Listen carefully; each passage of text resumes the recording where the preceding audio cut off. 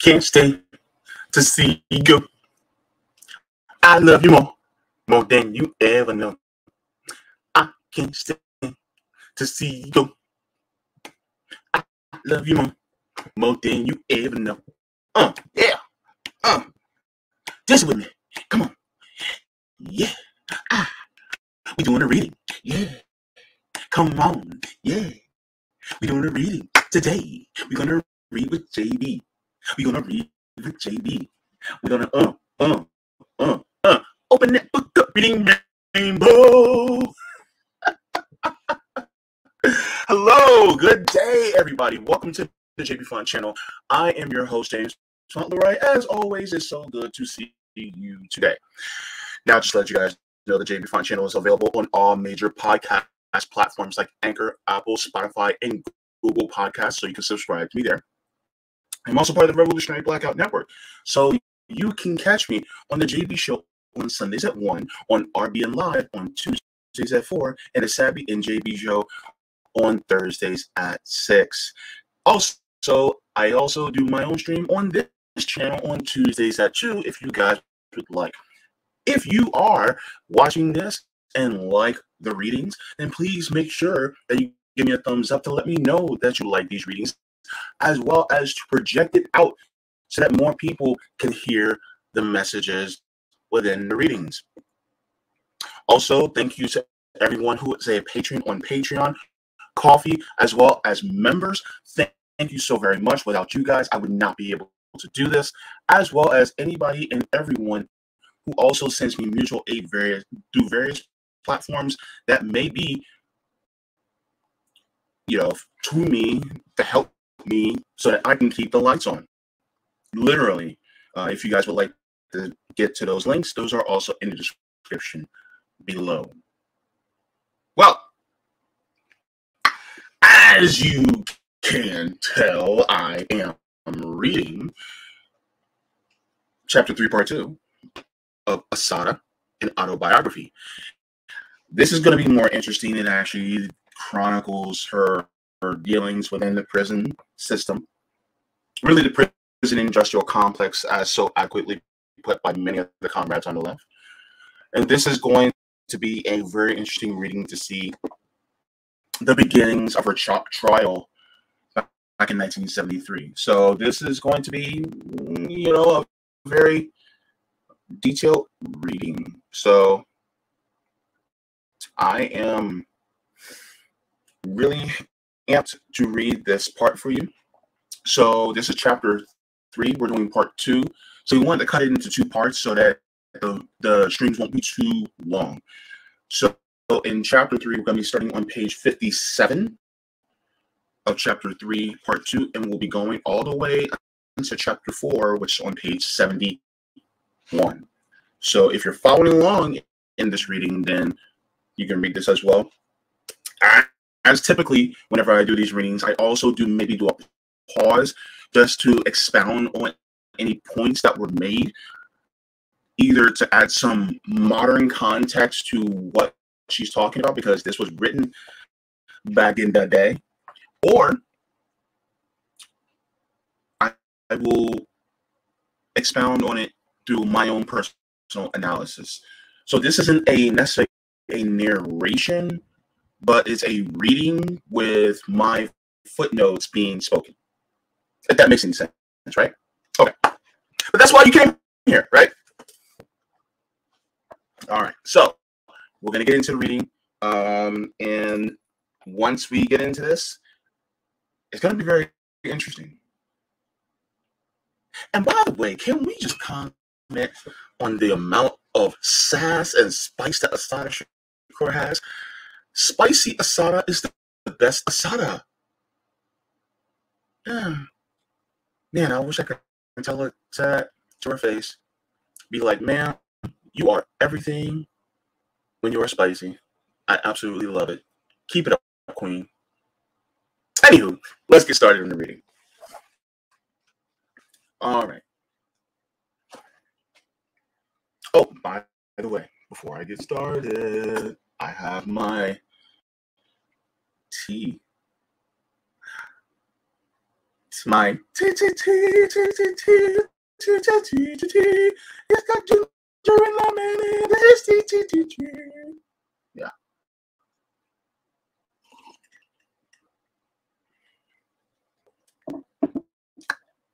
It hit just right. Right there, right in the taste buds. Okay. Let's start. Because I had a broken clavicle, I had to wear a figure eight brace around my shoulders. It was made of foam and cotton on the tiny belt buckle fastener on the back, about a half inch wide. One morning, I was eating and the guard came in my cell and took it. You can't have this. Why? Because it contains metal, she replied. You can't have anything with metal on it. Now, there I was, sitting on a metal cot, drinking out of a metal cup eating out of a metal bowl, and this policewoman standing in my face tells me I couldn't have my brace because this tiny metal buckle.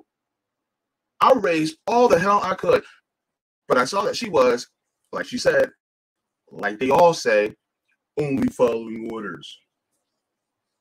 If the prison doctor says you need it, you can have it back. As soon as Dr. Miller came into the workhouse, I asked to see him. Without the brace, my shoulder felt weak and fragile. I could barely hold myself up straight.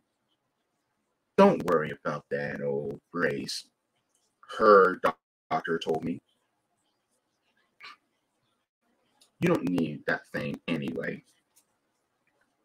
It was all I could do to not kick him in his groin. Luckily, later that week, the bone specialist came out from the hospital to see me. He was a good doctor and a very kind man.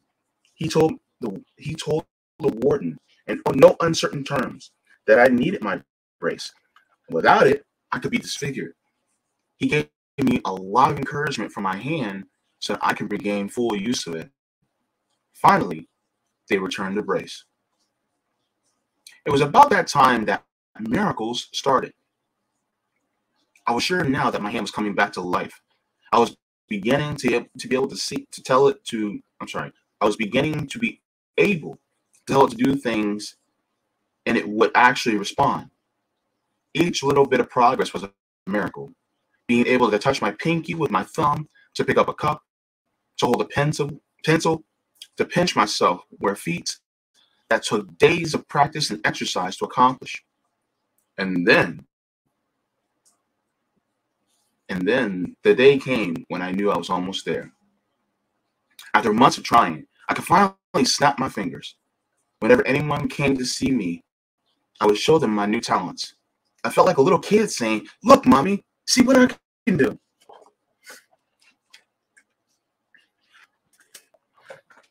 Finally, a joint conference was arranged between Sundiata and me with Evelyn present. It took place at the workhouse.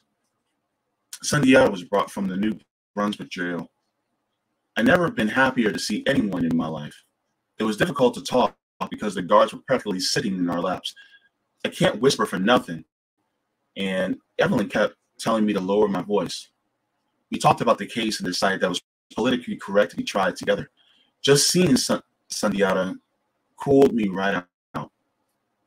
I was feeling bad and I was self-conscious about how I looked.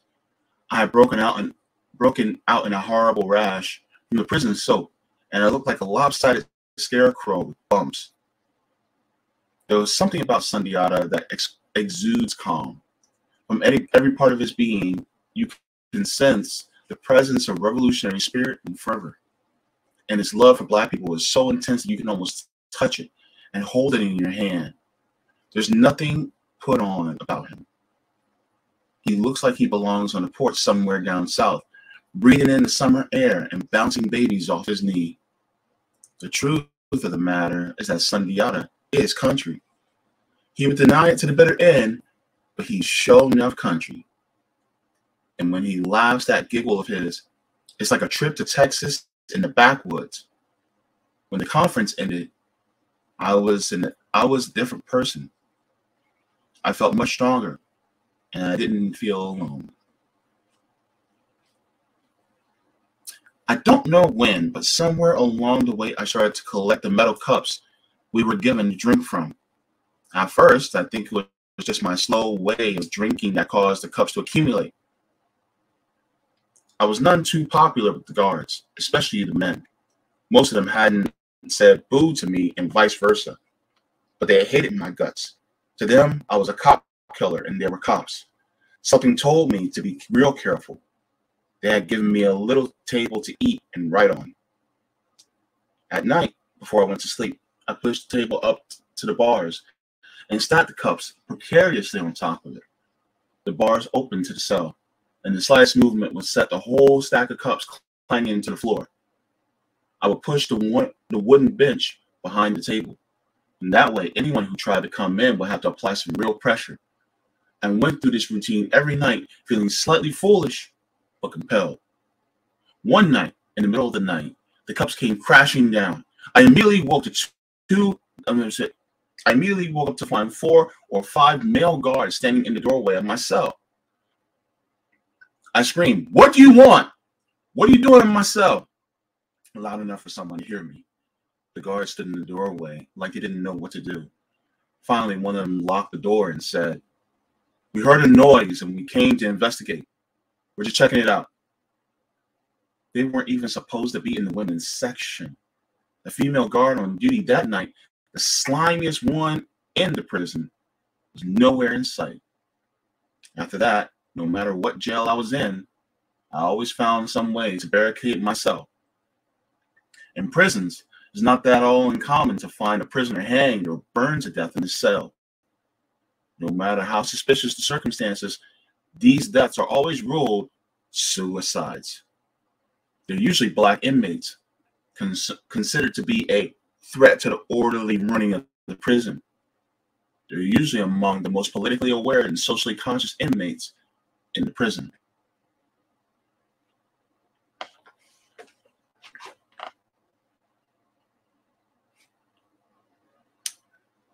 Sometimes they do that.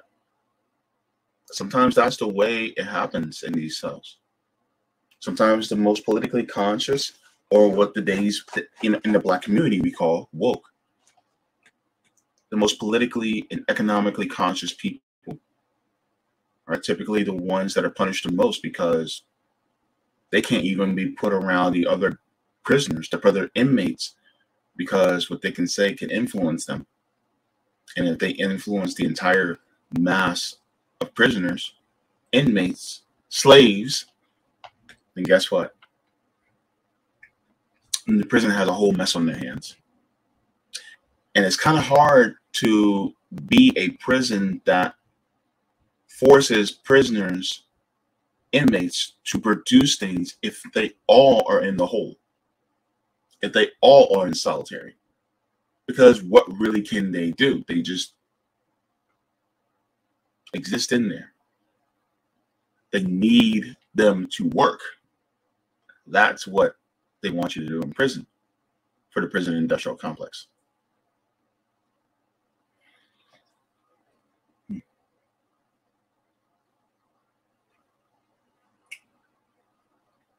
When Eva came to the workhouse, it was something of an event. Usually, she occupied the cell I was in. The rest of the women were housed in two open dormitories. The guards didn't even know what to do with her. She had been in that t- jail many times before, and she was known as a hellraiser. Everybody said she was crazy. My first encounter with Eva when she came to the bar and sat down outside my cell and told me that she would astro travel. She called it something like astro space projection. I can go anywhere I want to, whenever I want to, she told me. I just came from Jupiter. How was it? I asked her. Oh, it was fine. They had these cute little people. They were purple with crocodile skin and blue hair. You can go anywhere you want to, she told me. You just have to project yourself. Can you show me how to project myself the hell out of here? Oh, that's easy, she said. I do that all the time. As a matter of fact, I'm not here now. No, I said, that's not good enough. I want to project my mind and my body out here. You'll be in jail wherever you go, Eva said. You have a point there, I told her. But I'd rather be in a minimum security prison or on the streets than a maximum security prison in here. The only difference between here and the streets is the one is maximum security and the other is minimum security. The police patrol our communities just like the guards patrol here. I don't have the faintest idea how it feels to be free. That's a sentiment that's shared by many black people. We don't know how, what it feels to be free, even though, even though slavery was abolished, still don't know what it feels like to truly be free. Go to any hood. Any hood is really an open air prison where the police basically are just the corrections officers that drive around in cars. You just have a few more liberties, but you're not really truly free. That's how it feels. Eva told me that she knew how I felt. She had to know. Any black person in America, if they're honest with themselves, had got to come to the conclusion that they don't know what it feels like to be free. We aren't free politically, economically, or socially. We have very little power over what happens in our lives. In fact, a black person in America isn't even free to walk down the street, walk down the wrong street in the wrong neighborhood at night, and you know what happens. Hello, Ahmaud Arbery. Eva and I got on famously. A lot of times I didn't understand what in the world she was talking about. But at times she made so much sense, I wondered if it really was the world that was crazy. She taught me a lot in prison, and she was forever telling some funny story about her life. Eva was a huge sister. She weighed about 300 pounds. She was very dark skinned and her hair was cut short next to her scalp. People who have accepted white European standards of beauty would find her unattractive. But to me, there was something beautiful about her, and I love to look at her. She was one of the few people I have met in life who have the courage to be almost totally honest. Altogether, Eva has spent about 10 years in the Clinton Correctional Facility for Women in New Jersey. She had been there, and I'm sorry, she had been there in the old days when the women worked out on the farm. She told me how the women were treated. That state troopers would be called in for the slightest disturbance. She, she was there during the riot at Clinton and had seen state troopers beat women mercilessly. Once, they had beaten a pregnant woman so badly, she lost her baby.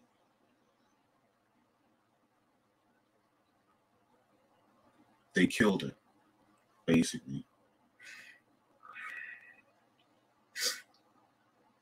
Around this time, I started taking my little walks.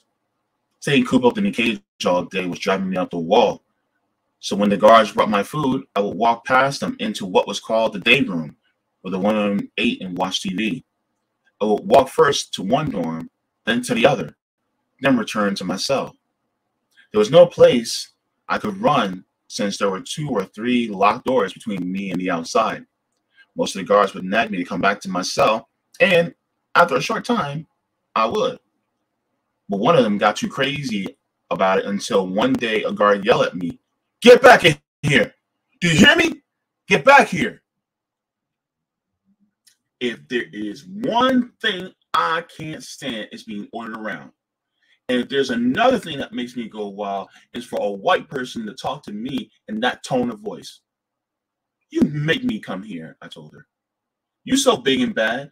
I want you to see, I want to see you make me come back in there. She made a move like she was going to grab me. You put your hands on me, and it's going to be you and me. Oh, Lord. She's so like my mama. She's so like my mama. Sorry. You put your hands on me, it's going to be you and me. You lay a hand on me, and I'm going to splatter your brains all over these walls.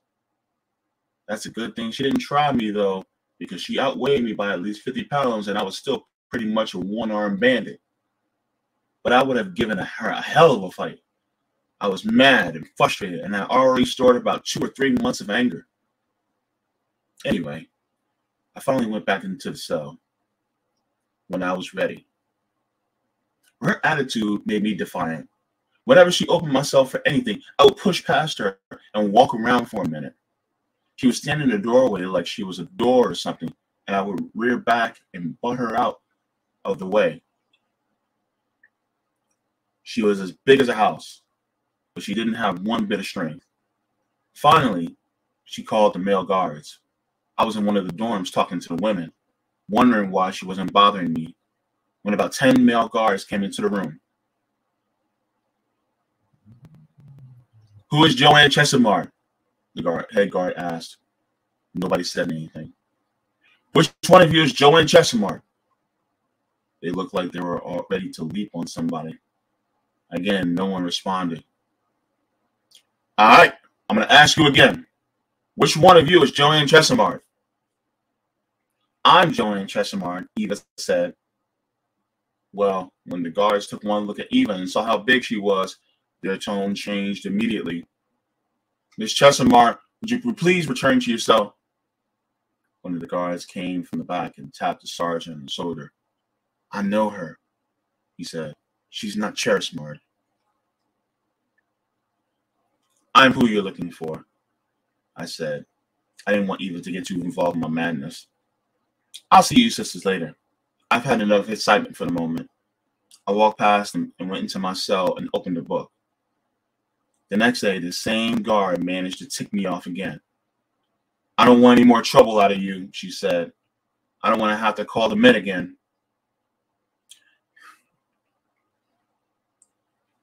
You can call the National Guard, the militia, the FBI, and anybody else for all I care.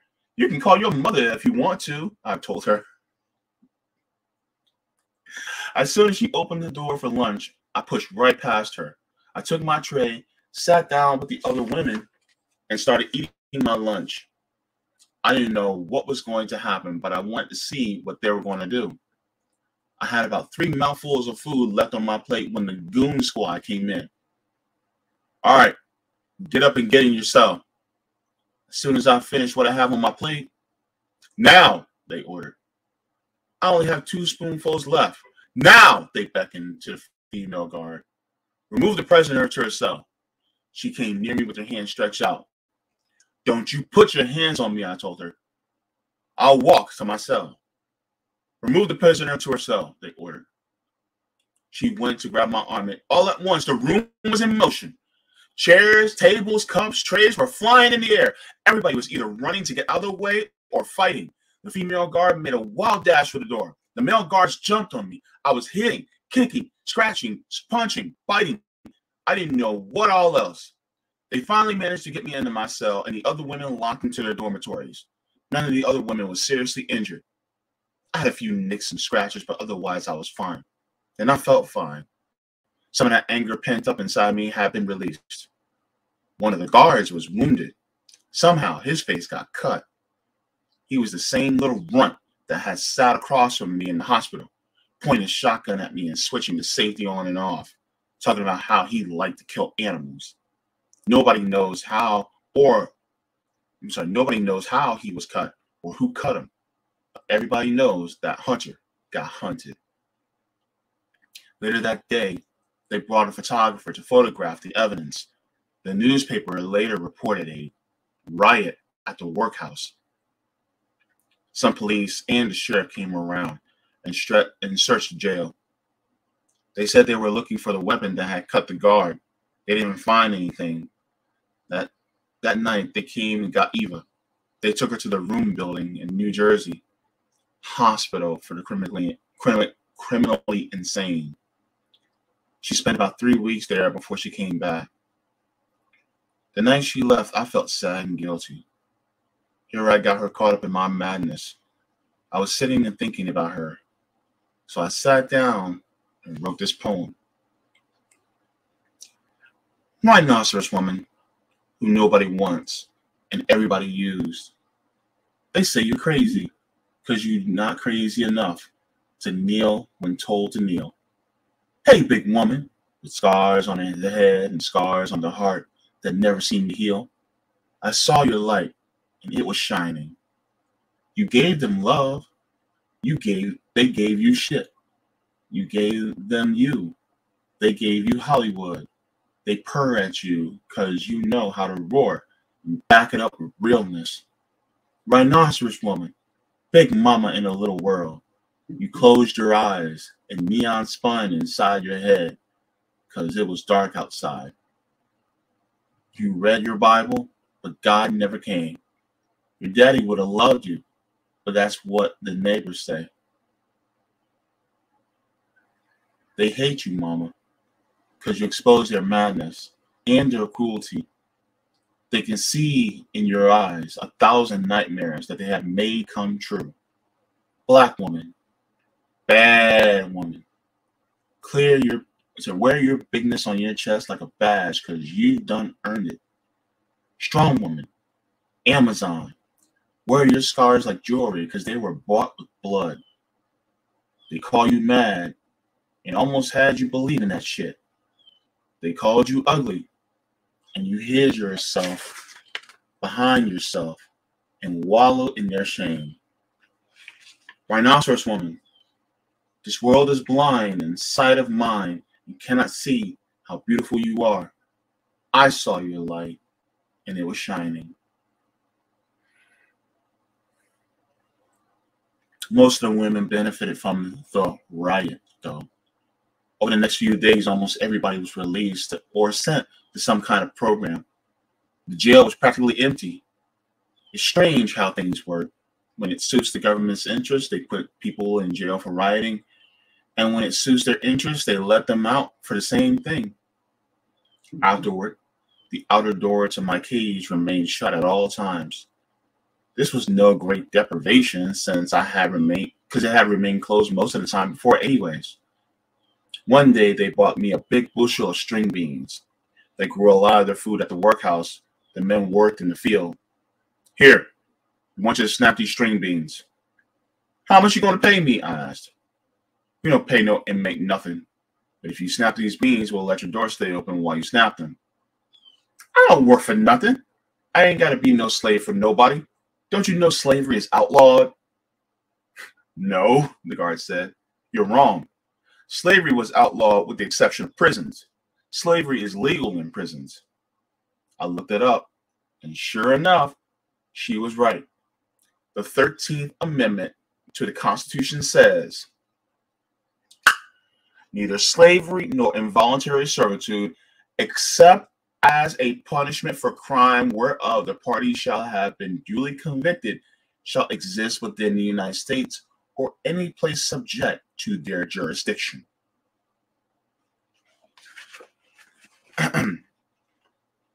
Go on the Google machine and look up the 13th Amendment in the United States, and it will read exactly as stated in this book. There's an exception for slavery within the Constitution of the United States, meaning that the prisons and jails within this country are literal plantations.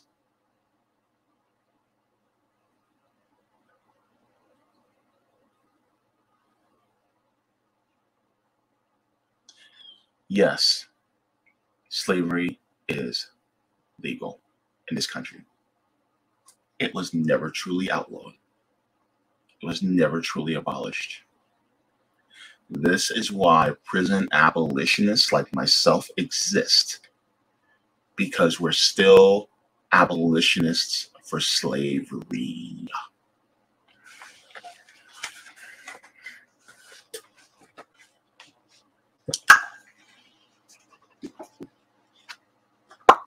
Message!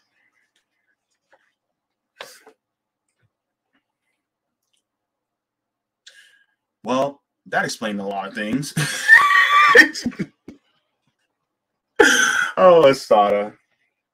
That explained why jails and prisons all over the country are filled to the brim with black and third world people.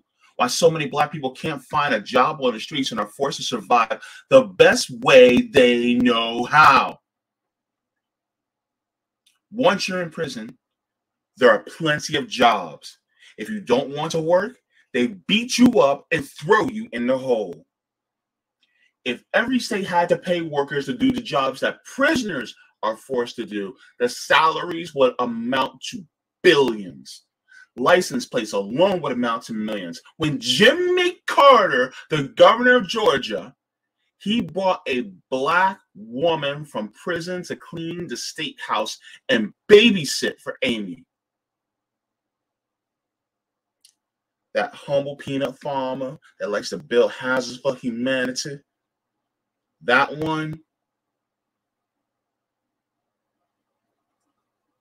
Prisons are a profitable business. They're a way of legally perpetuating slavery. In every state, more and more prisons are being built and even more on the drawing board. Who are they for? They certainly aren't planning to put white people in them. Prisoners are part of this government's genocidal war against Black and Third World people. There are a lot more white people in prison now because now it's not just race, but it's also class. However, even though black people are only about 4, 13, 14% of the prison of the black people are only 13 to 14% of the US population, we account for 40 plus percent of the prison population. I'm gonna say that again. Even though we're about 13 to 14 percent of the total population of the country, we are 40 plus percent of the prison population in this country. We do not commit more crimes than white people any more than they do we commit crimes at the same rate, which means that the majority of people in prison should be white people, but nearly half the prison is black.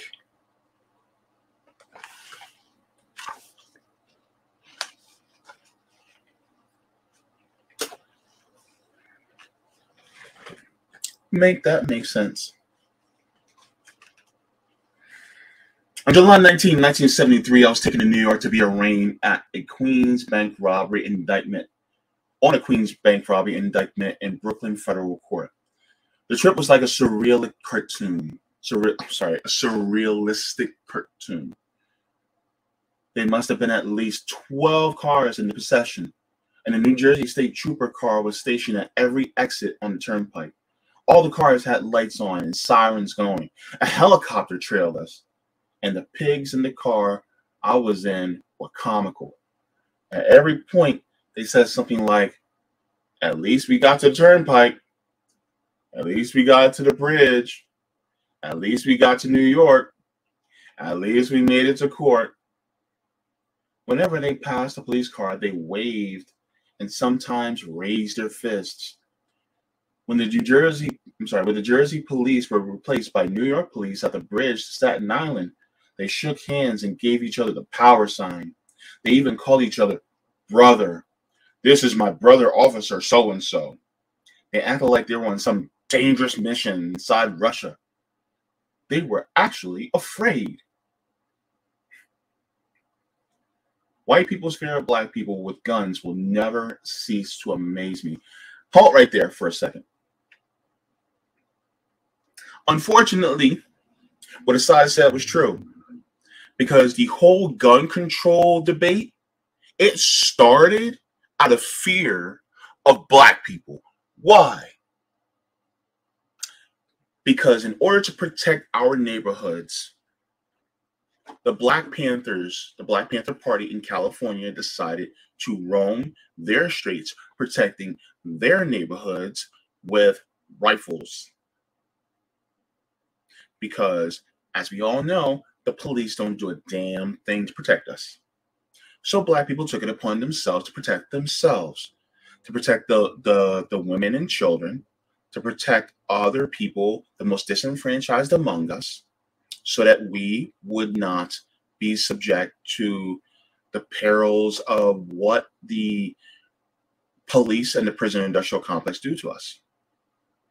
That being said, hmm, Reagan, then Governor Reagan of California, decided to put gun control measures because he didn't want Black people openly carrying guns or having concealed carry guns because he was afraid that Black people would take up arms. So that's the whole reason for the gun control debate.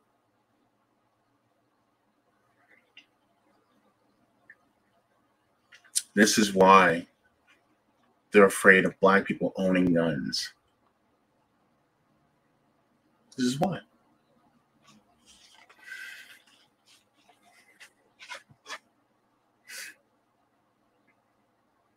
Back to the paragraph. Probably it's because they think about what they would do were they in our place, especially the police who have done so much dirt to black people their guilty conscience tells them to be afraid. When Black people seriously organize and take up arms to fight for our liberation, there will be a lot of white people who will drop dead from no other reason than their own guilt and fear. In September, I was moved from the workhouse and entombed in a basement of the Middlesex County Jail, allegedly because of the jail's proximity to Middlesex County Courthouse, where the New Jersey trial was scheduled to begin on October 1st. I was the first and last woman ever imprisoned there. It has always been a men's jail. When I arrived, I was given a dirty, scratchy horse blanket and one sheet. Thinking they had made a mistake, I asked for another sheet. That's all you get, they told me. I can't sleep with that filthy thing over me. I need a, another sheet. Sorry. Why am I allowed only one sheet? That's all the men get. We only give one because they might hang themselves. They can hang themselves easily with one sheet as they can with two, I reason. Sorry. For me to sleep on that filthy thing with one sheet was out of the question. I hooped, hollered, and demanded they call my lawyer and told the guards the next time she came into my cage, I was going to wrap the sheet around her neck. Finally, she gave me another sheet. Don't mess with Assata boy. If I wrote a hundred pages describing the basement of the Middlesex County Jail, it would be impossible for you to visualize it. It was a big grayish perky greenish wall, pukey greenish wall. The ceiling was covered with all types of pipes, some small, some huge, some dry, some leaky. There was no natural light, and the jailers refused to open the small windows located near the ceiling. The average temperature was 95 degrees. It was infested with ants and centipedes. I had never seen a centipede before, and they scared me to death. They're, they were huge, albino monsters, and they crawled all over me. Ugh. Footnote. On December 11, 1978, Attorney General Lennox Hinds, on behalf of the National Conference of Black Lawyers, the National Alliance Against Racism, and the Commission for Racial Justice at the United Church of Christ, sent a petition to the United Nations Commission on Human Rights alleging a quote consistent pattern of gross violations of human rights and fundamental freedoms of certain classes of prisoners in the United States because of their race, economic status, and political beliefs. End quote. In response to the petition, several international jurists visited the number of prisoners on August 30th, I'm sorry, August 3rd to 20th, 1979, and reported their findings. They listed four categories of prisoners, the first of which were political prisoners, defined as, quote, a class of victims of FBI misconduct through the COINTELPRO strategy and other forms of illegal governmental conduct who was who as political activists have been selectively targeted for provocation, false arrests, entrapment, fabrication of evidence, and spurious criminal prosecutions. This class is exemplified by at least the Wilmington 10, the Charlotte 3, Assata Shakur, Sundiata Acoli, Imari Obadele, and other Republic of New Africa descendants, David Rice, Ed Poindexter, Elmer Geronimo Pratt, Richard Marshall, Russell, Russell Means, Ted Means, and other American Indian movement defendants. They considered my case in the section of their report dealing with solitary confinement. Quote, one of the worst cases is that of Assata Shakur, who spent over 20 months in confinement, in solitary confinement, in two separate men's prisons, subject to con- conditions totally unbefitting any prisoner. Many more months were spent in solitary confinement in mixed or all women's prisons. Presently, after protracted litigation, she is confined at Clinton Correctional Facility for Women in maximum security. She has never on any occasion been punished for any infraction of prison rules which might in any way justify such cruel or unusual treatment. End quote.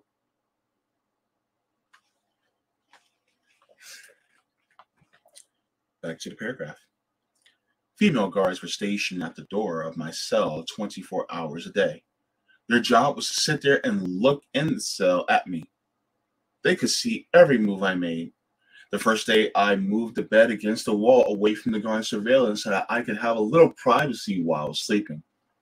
The guards ordered me to move the bed into the middle of the floor. I refused. The next day, workmen nailed the bed to the floor in the center of the cell. They even peeked through the window in the bathroom while I was in the toilet or taking a shower. When I covered the peephole with a towel or a uniform, they ordered me to remove it and threatened to take away all towels and uniforms if I continued covering the window. I didn't refuse, I simply ignored them. After a while, they gave up. A month later, one of the sergeants told me that I was permitted to cover the window when I used the bathroom, but only for three minutes. There were 12 four foot long fluorescent light bulbs in the cage that were blinding. When I got ready to go to sleep the first night, I asked the guard to turn off the lights. She refused. I can't see you if the light is I can't see you if the light is on. How in the world can you miss me? You can see everything in the cell. Sorry. They kept me under those blinding lights for days. I felt like I was going blind. I was seeing everything in doubles and triples. When Evelyn, my lawyer, came to see me, I complained. Finally, after Evelyn accused them of torture, they turned the lights off at 11. But every 10 or 15 minutes, they would shine a huge floodlight into the cell. Then the trial started. First, motions were argued. Practically all the motions were denied. All the prosecutions were granted.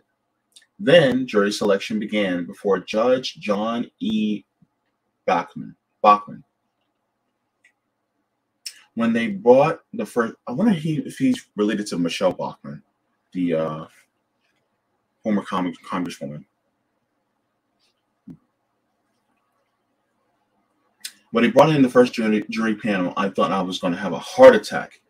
There were only a few blacks speckled here and there and the panel looked more like a lynch mob than a jury. Most of the jurors openly glared at us as if they would kill us if they could. Half said they, they thought we were guilty. The other half, though, although they didn't say it right out, answered questions like they believed more or less they were probably that we were probably guilty. I was convinced some of them deliberately lied just to get on the jury and convict us. Most of the few black people excused themselves on the grounds of hardship. They had children, families, and jobs, and simply could not afford to be on a lengthy jury trial. If ever there was a case of the blues, I had it. Do something, I kept telling the lawyers. Do something. What can we do? The lawyers would answer. We're doing the best we can. It was true, but I just could not accept it. This was my life they were talking about. I must have bugged the lawyers to death. Object to this, object to that, I would tell them. Our objection is already on the record. Well, object again anyway. I was outraged, trapped, and helpless. Whenever a juror said something that revealed out and out prejudice, the judge would try to clean it up. Poor Ray Brown, one of the defense lawyers, caught most of my fire. I want you to object. On what basis? He would ask. Don't you see it? The judge is asking leading questions. But the judge is legally allowed to ask leading questions during jury selection. Well, object anyway. I knew nothing about law then. I had never even seen a trial. I just couldn't understand how the judge could be so blatantly prejudiced in favor of the prosecution, and there was nothing we could do about it. Pausing right there. This is why a lot when a lot of times people say the system works, no, it doesn't. Because the thing is that the system begins, hell, it begins in school. You ever heard of the school to prison pipeline? Guess what? It starts there. You have teachers that have prejudice against us, right? School administrators that have prejudice against us. They put school resource officers in the prisons. The prison, the I'm sorry, the schools, the school, Freudian slip. The schools are built a lot of times like prisons. And then, guess what? Then you're monitored closely by police in the streets. Then, for even tiny infractions, then you're taken off the streets and put into jail. Then they put you in prison. And then when you're awaiting a trial or waiting to see a judge, hell, sometimes even the public defenders have a prejudice against you. The prosecution has the the uh, a prejudice against you. The judge has a prejudice against you. If you go to trial, the jury has a prejudice against you. Hell, the media has a prejudice against you. And then the people who make the laws have a prejudice against you. And then a huge chunk of people who voted for the people who made the laws have a prejudice against you. And then the people who buy the politicians have a prejudice against you. So when people say the system works, they are bullshitting you. Because if the system worked, then you would see a whole lot more justice.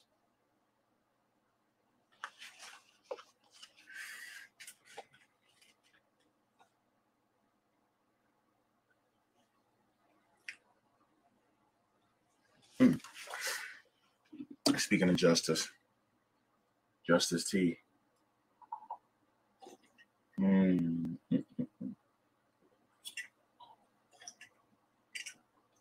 All right. Let's continue. Why can't y'all be like Perry Mason? I asked the lawyers jokingly. Did you ever see Perry Mason defend a black defendant? Ray Brown answered. That's a good question. Sundiata was a lifesaver.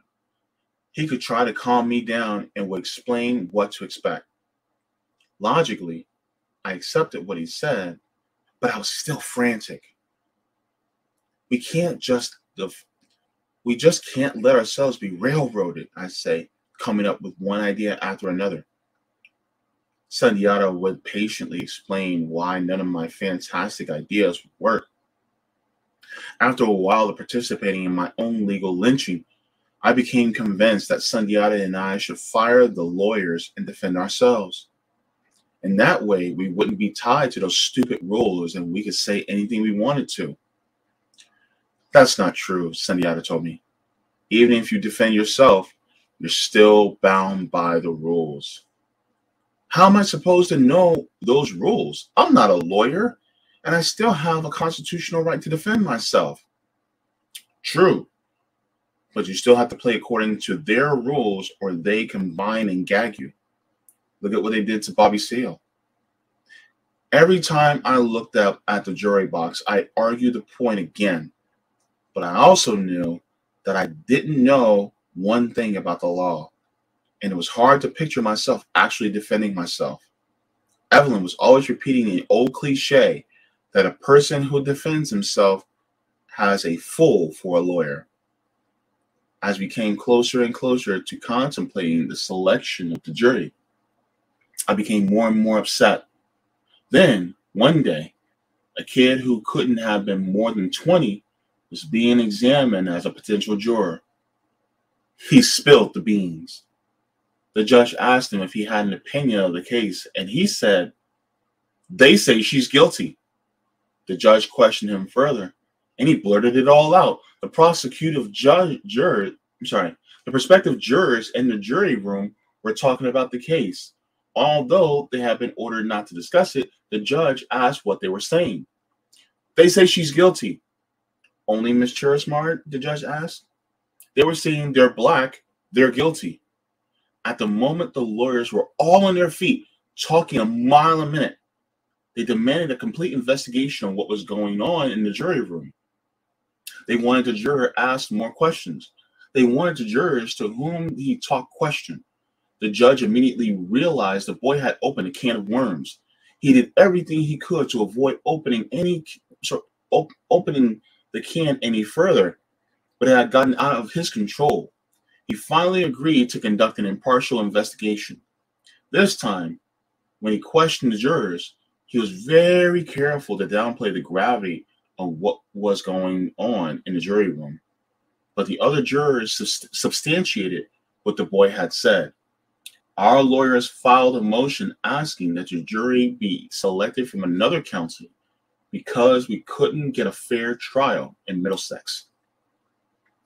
The assigned judge, I'm sorry, the assignment judge, not Judge Bachman, was to decide the motion. Meanwhile, the trial was stopped. Evelyn told me the decision.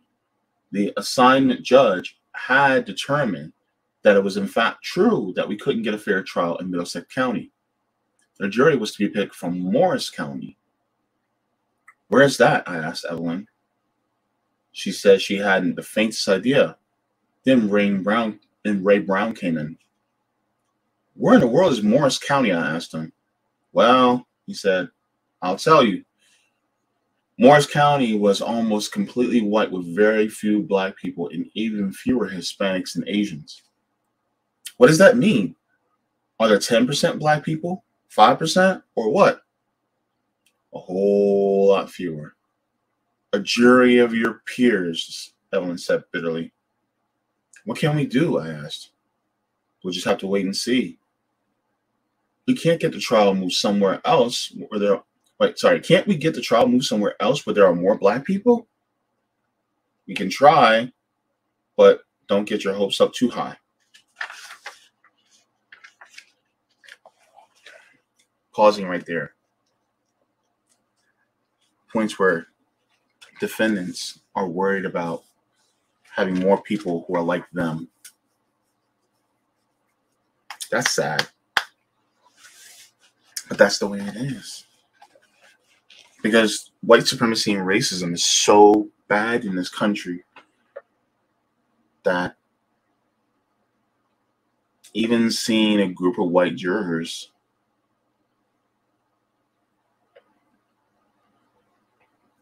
we feel like we still can't get a fair trial even if it's a group of all of you who are watching, even though you all are, you know, maybe allies,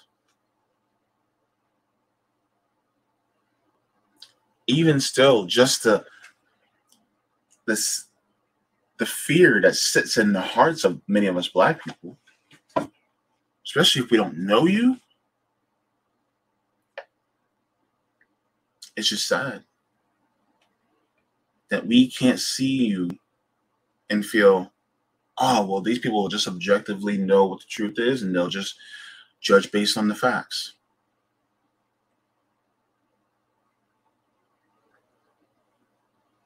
It's just we feel that prejudice so strongly from a lot of white people that we feel like we can't even be looked at or judged objectively in a fair way. So it's like if you don't see people who look like us, then we feel like we're doomed.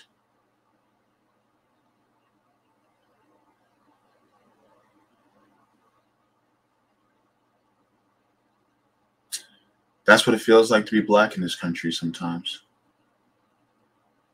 all the time, really. Constantly being under the microscope and being judged harshly just because of the color of our skin. Back to the paragraph. I was coming back to Earth and fast.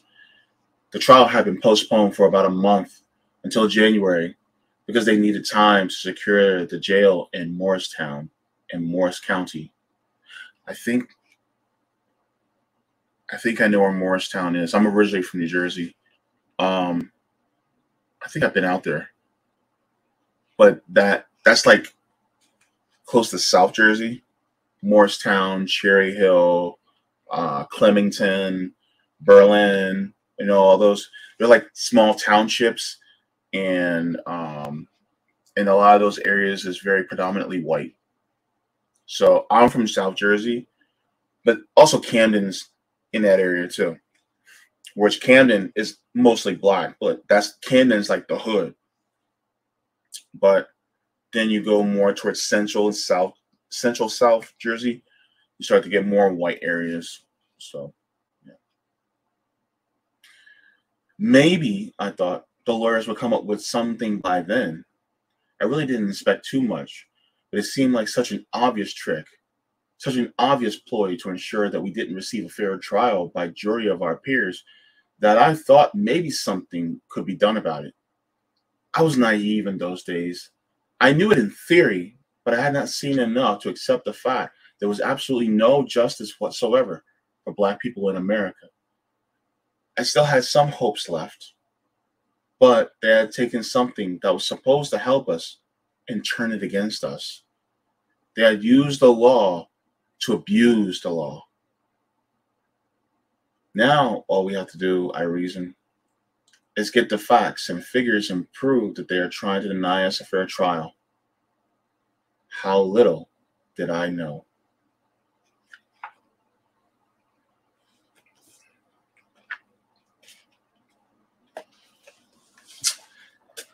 Yep, that's the it for chapter three.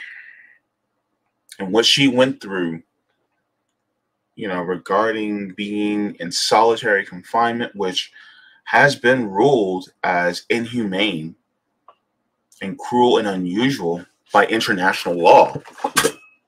And yet, they still do it. The United States still does it. And so, for people to say that the system works, no. Prison isn't for rehabilitation. I'm going to say it again. Prison is not for rehabilitation, it is punishment and it it does not serve us in any capacity to truly change ourselves. Do some people change? Yes, but it's not there for that. It is there to punish, enslave, and force us to work. That's it. There will be some programs, yes, but it depends on the security of the prison. If it's minimum security, yeah, you know, maybe. But for the most part, no. So, with that being said, that's the prison industrial complex. That's the way they operate. And it's sad that people have to go through that. But this is why we fight for change. So yeah, and a lot of people who are in prison are for there for small offenses, non-violent offenses.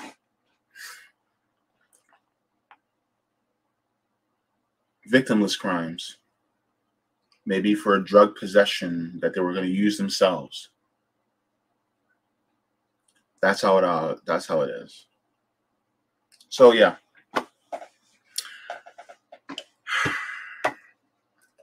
Assata Shakur, an autobiography. Anywho, that was a deep reading. I will be starting on chapter four next time. What the hell? But yeah, we'll be starting chapter four next time. And yeah, you know, I like doing these readings because it, it helps me grow. And I'm literally learning right before your eyes. And so I hope that you guys get a lot out of observing me grow in my understanding of how not only this world works, but getting historical analysis and even personal stories from like Assata Shakur, historical analysis by Michael Parenti, or getting, you know, firsthand accounts by George Jackson, you know?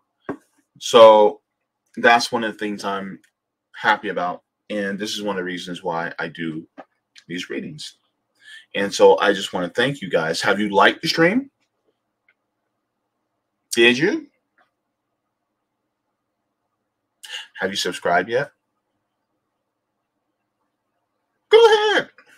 Go ahead. Look, I don't bite. I don't. Unless you want me to.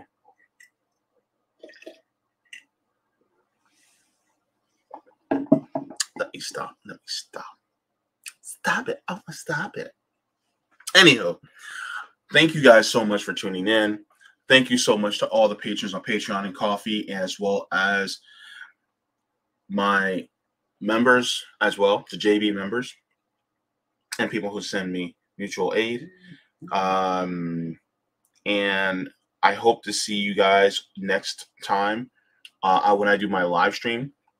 My live stream, I'm going to be reacting to a video that was submitted by Neo's algorithm. Um, he's been in the chat asking for me to. Uh, he's been asking for me to react to this video, so I will do a reaction to that live, as well as I will be speaking about uh, an article that talks about the empathy or the lack of compassion thereof of the wealthier you the wealthier you become. So I'll be talking about that. And there's also another story that I'll be talking about regarding junior ROTC. And so that's going to be a very interesting, a very interesting subject because that story is going to be wild. Uh, so if any of you guys remember being in high school, junior ROTC or JROTC was very prominent in my school. Uh, it's still prominent in my school. My nieces and nephews go there now and in high schools. So that's going to be a very interesting concept. Not just a concept, but it, the the facts that are coming out are ridiculous. So we're going to talk about that as well. The military industrial complex is really ramping shit up. And here's the thing the military industrial complex is also connected to the prison industrial complex, as well as the police. So just letting you guys know, they're ramping things up. TLDR, I honestly think that they are really trying to bring back the draft because forcing people into military service would mean that the military industrial complex constantly has cannon fodder for them to constantly make more money. And that's honestly what I think is they're trying to do. So, but thank you so very much to everybody. I would love to bid you all a good day. Water your plants, water yourselves, leave the world better than you found it. Reading is fundamental. And um, continue to speak out for those who are political prisoners in this country because they are the ones that have been speaking the truth and are being punished for it. Mwah. Forehead kisses to every single one of you. Pick up a book, y'all. Reading is fundamental. Butterfly in the sky. I can go twice as high. Take a look. It's in a book called Reading Rainbow.